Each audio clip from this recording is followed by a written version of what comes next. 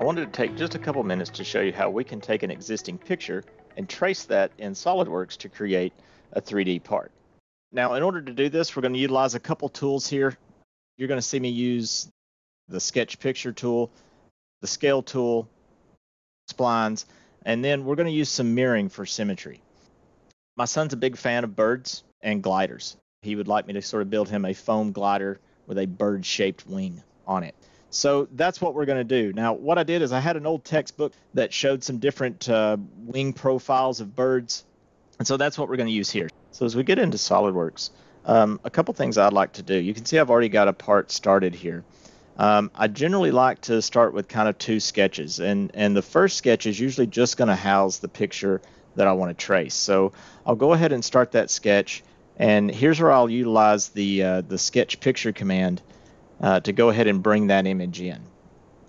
Now, you can see we've got a, a bird wing image here. This is a, a picture I took out of a textbook, sort of cropped it so it fit. You can see it's kind of grainy, uh, but it's going to serve purposes pretty well. Now, initially, it just sort of puts that in there. And what we want to do is utilize the tools within Sketch Picture to, to place that image and get it to the appropriate size. Now, a couple things you'll notice, you'll see that we've got our aspect ratio locked, right? So if I change in the X, it's going to change in the Y, right? I don't want to I don't want to distort that.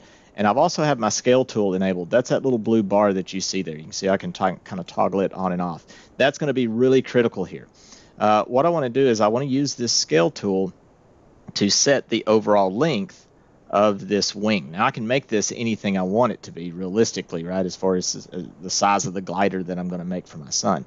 But what I want to do is I want to utilize these two endpoints and kind of drag this out um, to get an approximate sort of wingspan here, right? And as I finish this last drag, you'll notice that it gives me the option to sort of modify that length. Now in this case, I've set this up in millimeters. Um, realistically, I think in U.S. terms or in, in um, I think in English units. So um, what I'm going to do is I'm going to set this up to be um, 15 inches as far as half of my wingspan, right? So that's going to give me 30 inches total, roughly, right? Is what I'm going for here. Now, that sets the size. What I need to do now is move this to the appropriate location. So what I want to do is I want to set that up to be somewhere on center right there, roughly, with the origin. Uh, actually, I may want to offset that just a little bit, give it a little room. Uh, so I've got that set in place. What I'm going to do now is just go ahead and confirm that. That gives me the picture uh, where I want it and the approximate size. So now that I've got that in my sketch, I'm going to go ahead and uh, exit that sketch uh, and leave that there in the background. The reason, again, I like doing that is now I can come in and kind of hide that image out of view uh, anytime I want to just by hiding that sketch. I'm going to leave it for now because I want to trace over it. So I'm going to go ahead and start a sketch again on that same top plane. And I'm going to start off with just a center line because I know, again, I want to ingrain some symmetry here. And I set that up for a reason, so we'll just drag that out and place that initially. Now, what I'm going to do is use the spline command to sort of trace out uh, this wing profile. And I want to use the spline command because it, it, gives me the ability to create sort of some of these ergonomic shapes here. Uh, and the thing that's cool about the spline command is is it lets us sort of like as you can notice right I can kind of hit just kind of peaks and valleys. And when we're sketching with the spline tool kind of less is more. There's a balance that we want to try and hit. Um, we want to try and hit the the peaks and the valleys as I mentioned right? So I'm going to come around somewhere there-ish. Um, come here you can see. I'm just going to try and trace this outside profile and sort of smooth that out now, that doesn't look like it matches very well, uh, but if we come in and select some of these endpoints, you can notice that I do have the capability to sort of move uh, and manipulate uh, my spline. Actually, every one of those spline points that I selected gives me the ability to start manipulating the geometry around it, right? And I have the ability to even move those those points around as well. So it starts to begin to be a process of sort of working um, the spline, right? Kind of along that sketch, so to speak, or along that picture.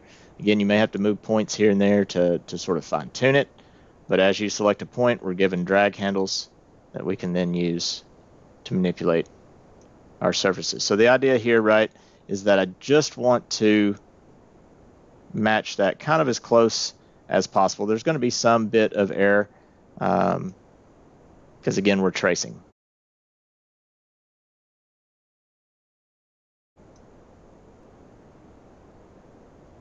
That looks pretty good. That gives me an outside profile. If I wanted to come in here and create some of these cutouts for feathers, uh, I could do that as well uh, with another spline. Uh, we can come in here and start to kind of fine tune that. Make that back. And then if I wanted to, right, by manipulating these splines, right, I can I can come in here and sort of make that little cutout and trim away the piece that I that I don't necessarily want. So pretty quickly, right, I've been able to um, somewhat trace that that ergonomic profile. Now what I want to do is, of course, I need that symmetry ingrained. So I'm just going to mirror that to the other side. You'll notice SOLIDWORKS then recognizes that that's a complete closed profile. Um, so I'll go ahead and exit that sketch. You can see it's now provided to me there. I'm going to go ahead and hide my uh, my original picture. There you can see my resulting sketch. And now if I come in and extrude that, I can extrude that at whatever thickness ultimately I want that to be. In this case, three millimeters as far as the thickness of the foam. I want this to be fairly light. So, um, so there you have it, right? Uh, pretty quickly, I was able to come in and uh, sketch a picture, or bring one in, trace around it rather. And uh, if I wanted to, right, I can bring that back so that now we can see that falcon wing. Right. So, thank you very much. Um, appreciate your time. Have a great day.